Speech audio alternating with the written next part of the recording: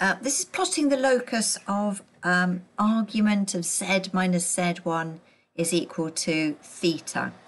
So if we start off by putting in a complex number at the origin, so 0, 0, and then we're going to put in another complex number with um, an argument of the theta value that we're, we're wanting.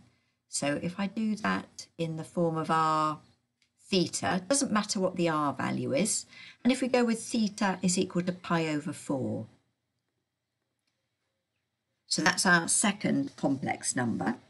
Um, so the locus of the um, arg z minus z1 will be a, a straight line, so in this direction, z1, z2.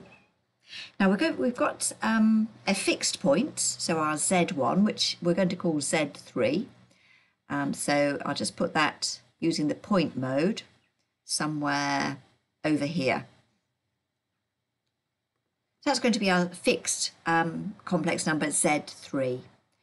Now to get um, from here in the direction, another complex number in the direction of Z2, we're going to go Z3 plus Z2. So if I select those, I'll do it in the, the order Z2 and Z3, and then we add them together. So we've got this complex number here. We can see Z3 to Z2 plus Z3 is a line with an argument pi over 4. I'm going to join those together with a line. So if I select them and put in a straight line. So this will be the direction and the position of my line. Now I don't actually need this Z2 plus Z3 anymore. So if I select it, uh, and I'm going to hide the complex number there. So that's disappeared. I'm now going to put a general point, a general um, point Z onto this line.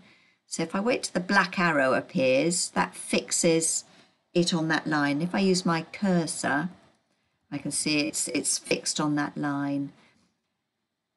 Now I'm going to rename Z4 as just Z. So if I go to edit the label and take off the 4 there, and now I've got a general point Z, hopefully is still on that line. Right, now we need um, to have a look at the argument of Z minus Z3.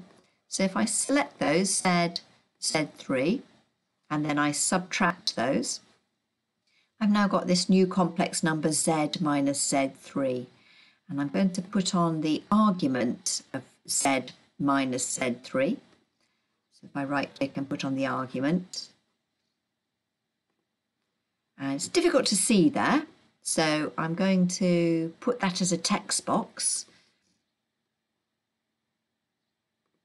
selected the whole thing. So I just want to select the uh, argument there. And there it's uh, labeling it as the angle. So if I put in argument, pi over 4. Right, so if I leave that up there and I can see it uh, more clearly. So now I can see if I move my Z, if I change my Z, I can see that the um, z minus z3 remains that argument pi over 4. But if I go further down and I go lower than that, I can see that my argument's changed. So that means that the locus of the argument z minus z1 is just a half line starting at uh, z3, my fixed point, with um, an argument of pi over 4.